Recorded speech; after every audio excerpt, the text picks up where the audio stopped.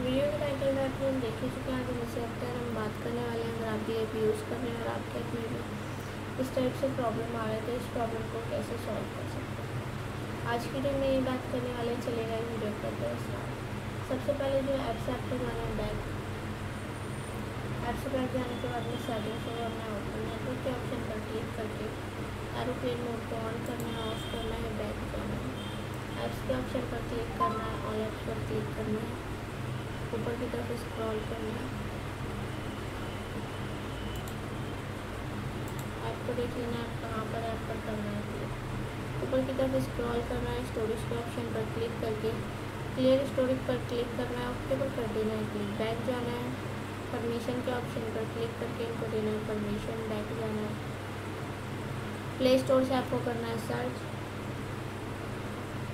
App search करेंगे, इस type से आपका इंटरफेस देखने को मिलेगा। ऐप में अपडेट आया होगा प्ले के ऑप्शन की जगह पे अपडेट का ऑप्शन देखने को मिलेगा। अपडेट के ऑप्शन पर क्लिक करके आपको अपडेट कर लेना, आपका प्रॉब्लम सॉल्व हो जाएगा। फिर भी प्रॉब्लम सॉल्व नहीं होता है आपको इंस्टॉल करके इंस्टॉल कर लेना प्रॉब्लम सॉल्व हो जाएगा।